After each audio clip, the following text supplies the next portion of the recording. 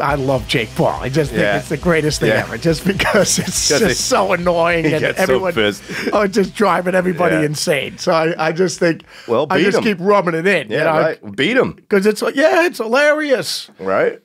Has he lost yet? No, Well, there you go. and well, I think the one was a draw. It was, it came out a Right. draw. The last fight he had, and then now when they fought the second time, then he knocked him out. so you you know. I mean, so yeah, and I mean, but the guys he's fighting are chumps. I mean, these guys are like, they're Yeah. MMA guys. Right. Mind you, they're not professional boxers, but he, you know, Jake doesn't claim to be a pro boxer either. He's just Yeah, like, yeah. no, I enjoy boxing and everything like that. But Uh-huh. I'm fighting guys that actually do have skills. Yeah. But I mean, but it's driving people insane. Like I the mean, the purists. comments. Yeah, yeah, I- I the know. boxing purists. It's the same thing. Like when I was at Berklee, the Jazzers, the purists, they hated the rock thing. It's just everybody's got to hate on something, man.